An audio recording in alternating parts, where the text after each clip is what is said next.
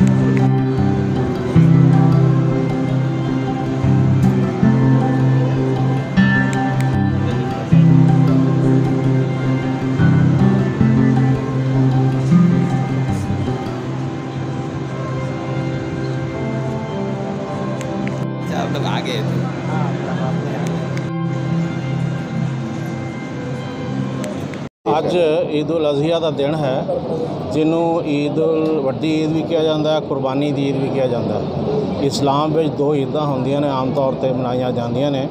ਇੱਕ ਈਦ ਉਲ ਅਜ਼ੀਆ ਔਰ ਦੂਸਰੀ ਈਦ ਉਲ ਫਿਤਰ। ਈਦ ਉਲ ਫਿਤਰ ਨੂੰ ਲੋਕ ਛੋਟੀ ਈਦ ਵੀ ਕਿਹਾ ਛੱਡਦੇ ਨੇ ਔਰ ਈਦ ਉਲ ਅਜ਼ੀਆ ਨੂੰ ਵੱਡੀ ਈਦ। ਔਰ ਦੋਵੇਂ ਈਦਾਂ ਕੁਛ ਨਾ ਕੁਛ ਕੁਰਬਾਨੀ ਦੇ ਬਾਅਦ ਆਉਂਦੀਆਂ ਨੇ, ਭਗਤੀ ਦੇ ਬਾਅਦ, ਇਬਾਦਤ ਤੋਂ ਬਾਅਦ।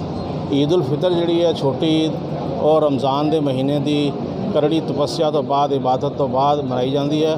ਔਰ ਇਹ ਜਿਹੜੀ ਈਦ ਉਲ ਅਜ਼ੀਆ ਹੈ, ਵੱਡੀ ਈਦ, ਇਹ ਹਜ ਦੀ ਇਬਾਦਤ ਤੋਂ ਬਾਅਦ ਇਨਸਾਨ, ਮੁਸਲਮਾਨ ਮੁਸਲਮਾਨ ਜਗਤ ਸਾਰੇ ਸੰਸਾਰ ਵਿੱਚ ਮਨਾਉਂਦਾ ਔਰ ਅਸਲ ਦੇ ਵਿੱਚ ਅੱਜ ਹਜ਼ਰਤ ਇਬਰਾਹੀਮ ਅਲੈਹਿਸਲਾਮ ਤੇ ਉਹਨਾਂ ਦੇ ਬੇਟੇ ਹਜ਼ਰਤ ਇਬਰਾਹੀਮ ਦੀ ਕੁਰਬਾਨੀ ਨੂੰ ਯਾਦ ਕੀਤਾ ਜਾਂਦਾ ਖਾਸ ਤੌਰ ਤੇ ਜਿਹੜੀ ਕਿ ਉਹਨਾਂ ਨੇ ਕੀਤੀ ਅ, ਔਰ- ਔਰ ਉਸ ਕੁਰਬਾਨੀ ਦੇ ਯਾਦ ਵਿੱਚ ਅੱਜ ਸਾਰੇ ਦੁਨੀਆ ਦੇ ਵਿੱਚ ਇਹ ਈਦ ਮਨਾਈ ਜਾਂਦੀ ਹੈ ਔਰ ਇਸ ਈਦ ਦੇ ਵਿੱਚ ਅਸਲ ਸਬਕ ਸਬਕ ਇਹ ਹੈ ਕਿ ਜਿਸ ਤਰ੍ਹਾਂ ਅ, ਅੱਲਾਹ ਤਾਲਾ ਕੁਰਾਨ 'ਚ ਫਰਮਾਉਂਦਾ ਹੈ ਕਿ ਜਿਹੜਾ ਗੋਸ਼ਤ ਔਰ ਖੂਨ ਜਾਨਵਰ ਤੁਸੀਂ ਜ਼ਬਾ ਜ਼ਬਾ ਕਰਦੇ ਹੋ ਇਹਦਾ ਖੂਨ ਔਰ ਗੋਸ਼ਤ ਰੱਬ ਤੱਕ ਨਹੀਂ ਪਹੁੰਚਦਾ ਬਲਕਿ ਉਹ ਦਿਲ ਵਿੱਚ ਤਕਵਾ ਔਰ ਉਹ ਉਹ ਜਜ਼ਬਾ ਰੱਬ ਤੱਕ ਪਹੁੰਚਦਾ ਹੈ ਕਿ ਜਿਸ ਤਰ੍ਹਾਂ ਇੱਕ ਜਾਨਵਰ ਜਿਹੜਾ اپنے مالک واسطے اپنی گردن ਸੁੱਟ ਦਿੰਦਾ ہے۔